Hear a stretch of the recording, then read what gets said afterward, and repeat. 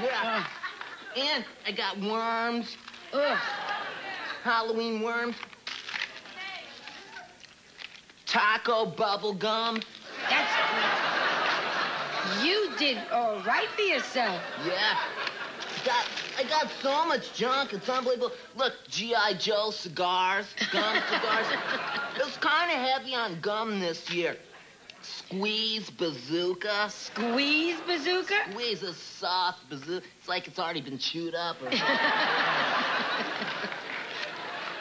yeah, I got a lot of other, you know, sort of like, I got this licorice rolls, you know, and, oh, this is really cool. Look, Cyndi Lauper gum.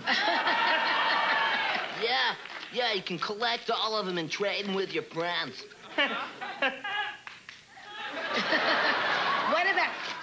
What about. Sorry, what about toys? Do you go in for like Halloween toys, special toys at Halloween? Yeah, uh, the, the, the, the, Take your time. Take your time.